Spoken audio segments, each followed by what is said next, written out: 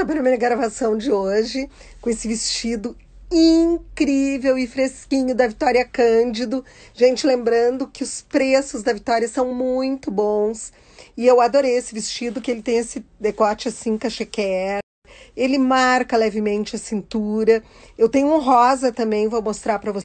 Esse aqui é o rosa, tá? E eu sei que tem mais uma cor.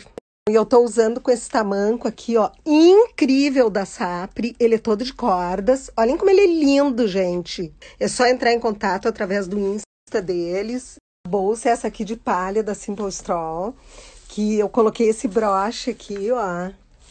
E, ah, eu acho um charme no verão. Eu acho que dá um, uma leveza na produção. Acho que atualiza a produção.